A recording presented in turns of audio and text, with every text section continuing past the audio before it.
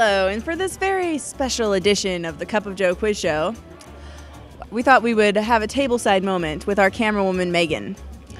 So, this is your final episode filming for the Cup of Joe quiz show. How do you feel? It's bittersweet, but I know it's time to move on and just see where else I can take my trivia knowledge and everything beyond that. And uh, how does it feel to be an abandoner and leaving me all by myself? You can do anything you can if you put your mind to it, okay? You can't leave me! I, I have to. It's not you, it's graduation. Everyone has to graduate someday. You're graduating next semester, so you're gonna be having these feels as well. That is like four whole months without you. What will I do? Well, I'm it's okay. People keep thinking I'm falling off the face of the earth. It's not the case at all. I'm just gonna be another place doing other things and probably a different city. But you know what? I hey, hey, I am here. If you ever need any advice on anything, I'm here. That's what friends slash camera people are for. Okay. Okay. Would you like a hug? I think you need one.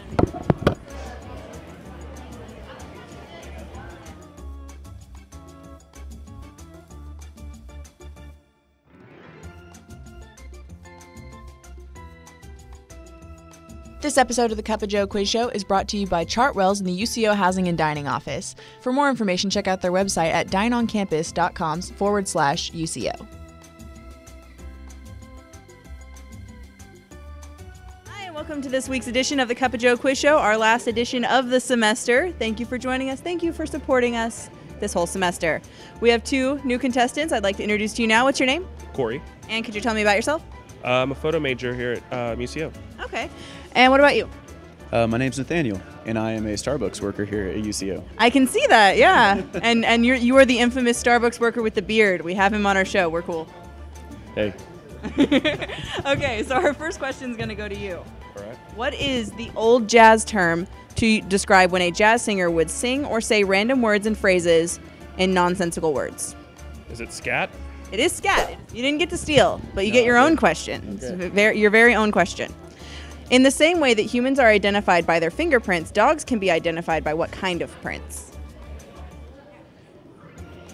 haha. It's not their paw prints, but good try. Good try. Do you have a Do you have a guess? No. Nope. It's actually their nose prints. Yes, if you if you take a dog's nose and stick it in ink, it's going to be really mad at you, but you can uh, tell tell them apart by their noses. It's kind of cool. From 2003 to 2005, Matt Linart led what football team? It is a college football team. I will. I will. I think the reason the contestants were thrown off a little bit is because the actual pronunciation for him is Matt Leinart. Oh. Maybe that would have helped a little bit. I mean, that's just me personally. Mm. Let's go with TCU. TCU. It's not TCU. Would you like to steal? Notre Dame. Fun fact Notre Dame almost did kill this team's 27 game winning streak back in 2005. I said almost, so alas, their streak did not get killed. It's not Notre Dame either. It's actually the USC Trojans. Need to watch more football. I don't watch any football. So, on average, how many strands of hair does the human head have? And just on the head, not like on your face too.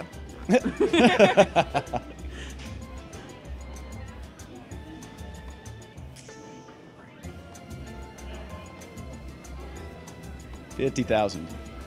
It's not not fifty thousand. So, would you like to steal? Uh, sure.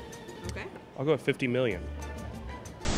I don't know if I could fit 50 million hairs on my head, I'd be a little disturbed if you were able to. but maybe I would just have this thick, voluptuous head of hair and it would be so adorable. Like J Lo. Yes. Probably closer. No. You're a little low. You're a lot high. it's actually 100,000 strands approximately. Oh. So, I mean, I guess if you are like a 70 year old man, you might have 50,000. Yeah. But- And if you're like Cousin Itt, more like 50 million, right? Right, exactly. it works. okay. How long did the first Thanksgiving feast last? Eight hours. Eight hours? That is entirely too long. Not for the question, but for my liking. We'll agree to disagree on this topic. I am a traditionalist when it comes to Thanksgiving, and I think it deserves all the recognition that it could possibly have. But if I keep eating, I'll explode. Of happiness. But it's also incorrect. what would you what do you think? One week? One week? Not one week. Only three days. Ah. It's three days of food and Indians and pilgrims and all down in our nation's history. Are you being a little violent with the cards? I guess since you can't fling them onto other passerbys. I'm just saying, history deserves passion. Okay, I can see where you're coming from now. But really, though, that is a little violent. You're violent. Yeah, with kindness. Deep in the annals of our history. Exactly. This question's for you. I almost forgot which question we were at. Okay, vermilion is a shade of what color? Red. It is a shade of red. You guys are both tied at one. Congratulations. The bromance. I can't handle it. Me either. What famous children's TV show host is infamously known to have been a sniper Navy SEAL during the Vietnam War and supposedly had the names of the people he killed tattooed on his arms? What? what? I can read it again if you want. Please. I'm gonna be real. This was a weird question. But I really liked this question. I can tell because you insisted I say it. And apparently Nathaniel knew where I was coming from because by his facial expressions and body language, he knew. okay. Okay. What famous children's TV show host is infamously known to have been a sniper Navy SEAL during the Vietnam War and supposedly had the names of the people he killed tattooed on his arms? Not a clue. I'm sorry. Is that your final answer? That's my final answer. Do you have a guess? What is Mr. Rogers? This is not Jeopardy. You don't have to answer the question. This is the second time this has happened this semester. We might as well be calling you Alex Trebek Alley. Good job! I didn't think anyone would get that. That is creepy.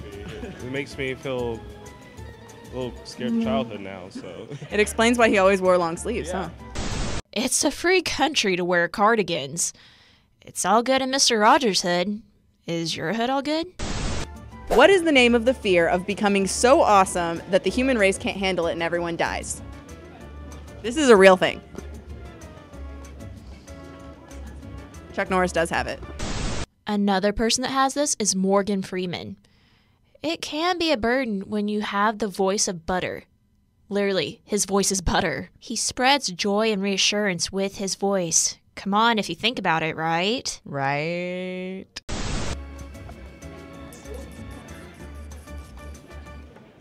Supermanophobia. It's not supermanophobia. I would say close, but I don't know if that counts. Nope. Nothing. Nothing. No, I'm, I'm not even gonna try. Not a single thing. It's actually called mephobia. So, congratulations. With your two points, you are the winner of the coveted Starbucks gift card, I sold this to you. which you did sell to us. How do you feel? I I feel honored. So, if you're ever afraid of becoming so awesome that the entire world will just explode, you know what to call it. So, thank you for joining us on our final edition this this uh, this semester. This is very end. Thank you guys so much.